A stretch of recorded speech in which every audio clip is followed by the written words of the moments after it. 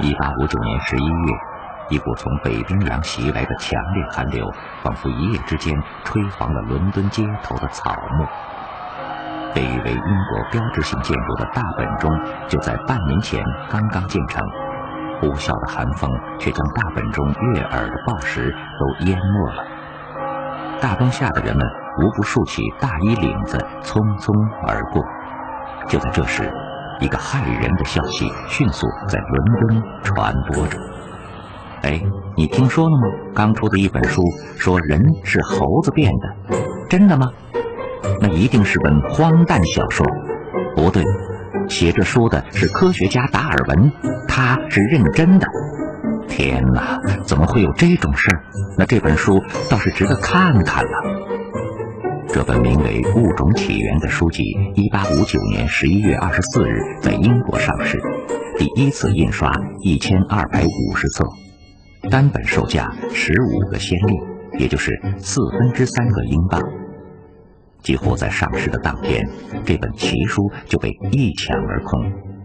出版商约翰·莫瑞不禁后悔印少了。一百五十年后的二零零九年四月，英国出版的国际权威科学杂志《自然》刊登了一篇论文，讲述了刚刚在加拿大努纳武特地区发现的一具近乎完整的第三纪动物化石。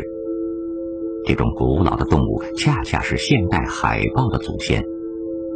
难得的是，它有着陆生哺乳动物的四肢，而不是现代海豹的鳍状肢。有角海豹化石的发现，不禁让国际学术界更加怀念达尔文这位科学巨匠。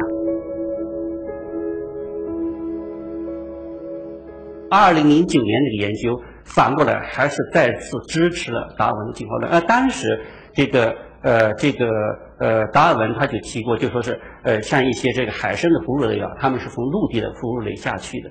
是到了海里边才产生这样一个变化的。一百多年后，达尔文这个这这个地方再一次得到了证实。查尔斯·达尔文的故乡英格兰小镇史鲁斯伯里位于伦敦西北二百四十公里，清澈的塞文河绕城而过。二零零九年春天，当探索发现摄制组来到这个小镇，这里的主要街道上都挂着大字横幅：“达尔文的史鲁斯伯里。”镇上的十万居民都相信他们的家乡地灵人杰，达尔文则是近代以来小镇向世界奉献的最伟大的人物。